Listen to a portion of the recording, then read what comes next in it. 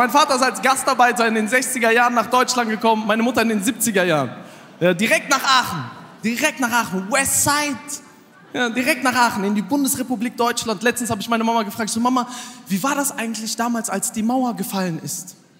Meine Mutter sagt zu mir, Khalid, das war total schlimm, als die Mauer gefallen ist. Diese ganzen Flüchtlinge, die konnten alle kein Deutsch. Die haben immer gesagt, guten Tag. Ich habe zu denen gesagt, sagt guten Tag. Die haben gesagt, guten Tag. Ich habe die gefragt, seid ihr Deutsche oder Türken? Wie viele Üs sind da drin? Das ist krass, nicht mal mein Zeichen. Aber wisst ihr, was krass ist? Das heißt, meine Mutter, meine Mutter ist seit den 70er Jahren in der BRD. Meine Mutter ist länger in Deutschland als Angela Merkel. Und trotzdem bin ich der Ausländer.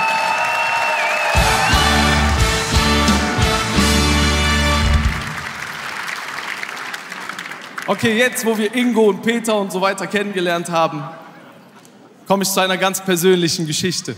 Ich habe eure Aufmerksamkeit, Aachen. Fangen wir ganz von vorne an. Mein erster Tag im Kindergarten. Ich bin hier in einer Gegend um Aachen herum aufgewachsen. Da gab es nicht so viele Ausländer, nicht so viele Menschen mit Migrationshintergrund, nicht so viele Menschen mit Zuwanderungsgeschichte.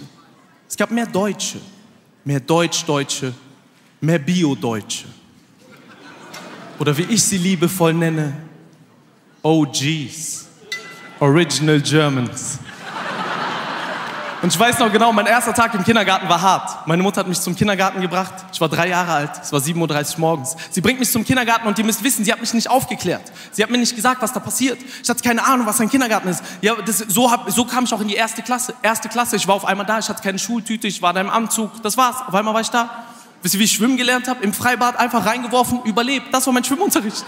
Kindergarten genauso. Ich wurde ins eiskalte Wasser geworfen. Ich hatte keine Ahnung, was der Kindergarten ist. Meine Mutter bringt mich dahin um 7.30 Uhr morgens. Ich bin drei Jahre alt. 7.30 Uhr morgens viel zu früh für mich. Ich war bis 4 Uhr in der Shisha-Bar. Ja, ich habe gearbeitet. Ja. Und dann nimmt meine Mutter mich und bringt mich zu diesem Kindergarten. Und ihr müsst wissen, warum hat die mich nicht aufgeklärt? Warum? Meine Mutter hatte keine Zeit. Die hat gearbeitet und ich habe viele Geschwister. Ich habe zehn Geschwister. Ja, wirklich. Ich habe ich hab zehn Geschwister. Ich habe so viele Geschwister, manchmal google ich deren Namen. Ich sitze vor meinem Bruder, ich denke mir, irgendwo erkennst du den. Shisha-Bar, Friseur. Ich glaube, das ist mein Bewährungshelfer. Jedenfalls, meine Mutter bringt mich halt zu diesem Kindergarten und setzt mich vor diesem Kindergarten ab und ich habe keine Ahnung. Es ist morgens früh. Meine Mutter setzt mich ab und fährt zur Arbeit.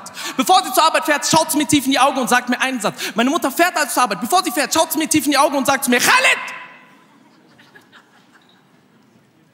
Ist kein Schweinefleisch. Und fährt. Das war's.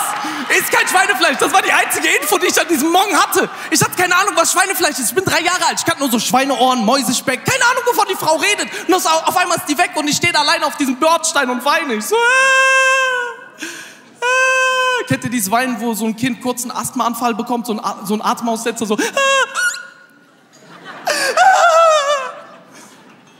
Dann kommt meine Erzieherin raus aus dem Kindergarten. Frau Zimmermann. Sehr nette Frau. Sie läuft raus aus dem Kindergarten, sie sieht mich weinen und sie so, Hallo Khalid. Und ich so, es heißt Khalid. Khalid. Khalid. Khalid? Na, bleib bei Khalid, Bitch. Meine Erzieherin hat es nie hinbekommen. Meine Erzieherin hat es nie hinbekommen, meinen Namen richtig auszusprechen. Ich war acht Jahre im Kindergarten. Sie hat es nie hinbekommen, meinen Namen richtig auszusprechen. Ja, ich musste ein paar Gruppen wiederholen. Und dann nimmt meine Erzieherin mich und bringt mich rein in den Kindergarten. Sie hält mich an der Hand und bringt mich rein in den Kindergarten. Während wir in den Kindergarten reingehen, geht mir nur ein Satz durch den Kopf. Ist kein Schweinefleisch, ist kein Schweinefleisch, ist kein Schweinefleisch. Ich komme rein in den Kindergarten, ich sehe ein Kind mit einer Bockwurst in der Hand und ich so, das werde ich essen. Ich wusste direkt, Bockwurst werde ich essen. Warum? Das Kind hat in die Wurst reingebissen und die Wurst hat geknackt. Das ist Hammer. Ich kenne keine Wurst, die knackt. Ich kenne nur Sujuk, Knoblauchwurst, die klebt. Kennt ihr diese kleine braune dicke Knoblauchwurst, wenn ihr die isst, drei Tage danach klebt die immer noch an deinem Gaumen. Du sitzt so im Bewerbungsgespräch. Ah, ah. Warte, ich habe noch ein Stück Sujuk. Willst du was? Ah. Aber diese Bockwurst, nein, die war so hell, lang, dünn, die hat geknackt. Ich muss das essen. Dann nimmt meine Erzieherin mich und bringt mich in meine Gruppe. Und ihr kennt diese Kindergartengruppen, die haben so komische Namen. Die haben so, die haben so schöne Namen wie Sonne, Schmetterlinge, Marienkäfer, Seepferdchen. Und ich war, ich war in der, es ist mir ein bisschen peinlich, aber ich war, ich war in der Meerschweinchengruppe. Es hat mich direkt gestört. Da ist Schwein drin. Ich so zu ihr, nein, wir dürfen hier nicht rein, das ist haram. Und meine Erzieherin so, nein, das sind doch nur Meerschweinchen. Noch mehr Schwein?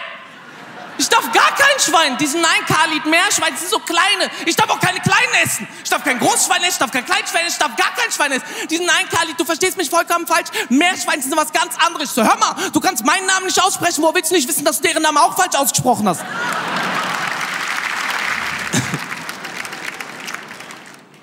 Aachen passt gut auf. Das ist eine wahre Geschichte. Meine Erzieherin nimmt mich an die Hand, bringt mich rein in meine Gruppe.